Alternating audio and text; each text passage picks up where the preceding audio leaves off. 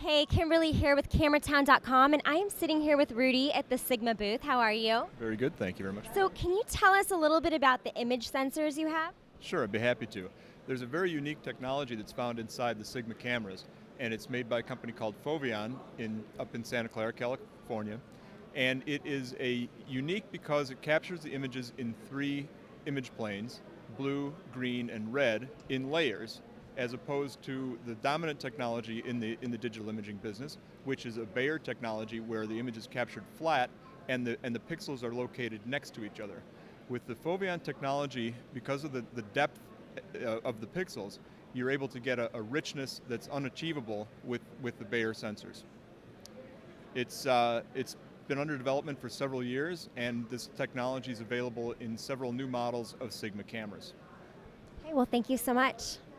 Um, so this is the SD15 camera, correct? That's right. Um, can you tell us a little bit about it? Sure, I'd be happy to. It's a successor to our SD14 model, and it's completely new inside, even though from the outside it looks like uh, sim very similar to our uh, SD14 model. It has a brand new processor, which is which is faster than before. It has some new signal signal conditioning chips inside to reduce noise and improve color.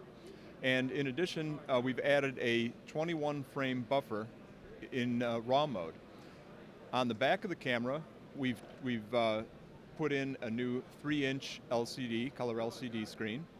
And uh, also the shutter is rated for 100,000 exposures, and battery life has been extended to 500 uh, images. Oh wow! So there's been a lot of improvements made to the camera uh, since the since its predecessor debuted.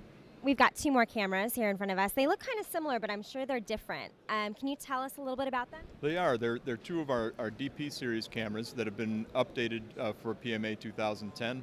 Uh, both of these cameras feature the same sensor we put into our DSLR camera, the same large sensor. This is a product category that Sigma actually pioneered a couple of years ago with our DP1 camera.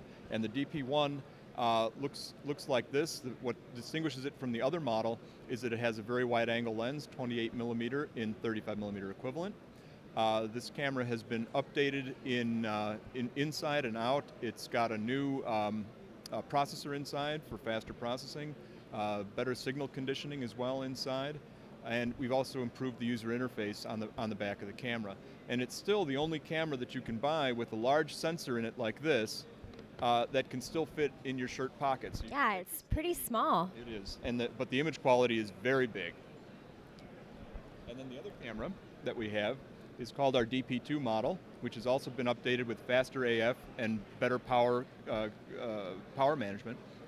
Is uh, has a 41 millimeter equivalent lens, same image sensor that's found in the in the DP1 as well, and we've also improved the user interface on the back of the camera as well. Okay, well, thank you so much, Rudy. We look forward to seeing these cameras soon.